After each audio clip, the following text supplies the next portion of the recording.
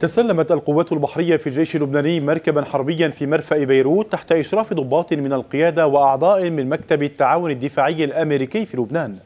وأعلنت قيادة الجيش أن الخطوة تأتي في إطار برنامج المساعدات الأمريكية للجيش اللبناني والاتفاقيات الموقعة بين الجانبين.